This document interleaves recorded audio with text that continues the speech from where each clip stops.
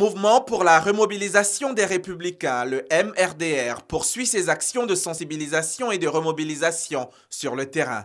Des actions menées en faveur des militants du RDR sans emploi. Ces hommes et femmes, déçus et frustrés de cette situation, ont été honorés au cours de cette cérémonie.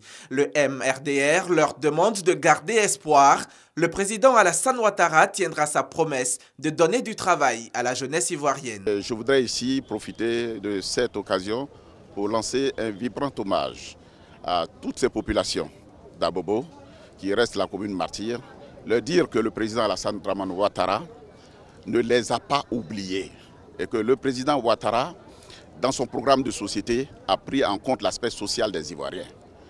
Pour l'heure, nous n'avons pas encore ressenti de façon totale les fruits de l'aspect social, mais je pense que dans les jours à venir, l'aspect social sera prise en compte. L'initiative est saluée par les militants présents. Je suis rassuré, c'est pourquoi est-ce que j'ai décidé de suivre M. Adier Dominique. Parce que je crois en lui, c'est un homme fort, c'est un homme d'idéaux et je crois à ce qu'il dit.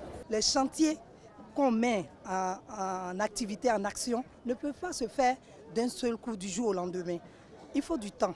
Au cours de cette cérémonie d'hommage, sept nouveaux coordonnateurs du MRDR d'Abobo ont été investis par le président du mouvement pour la remobilisation des républicains, Dominique Adjé. Leur mission, faire du porte-à-porte -porte pour sensibiliser les militants de leur commune avec en ligne de mire la réélection du président Alassane Ouattara à la présidentielle de 2015.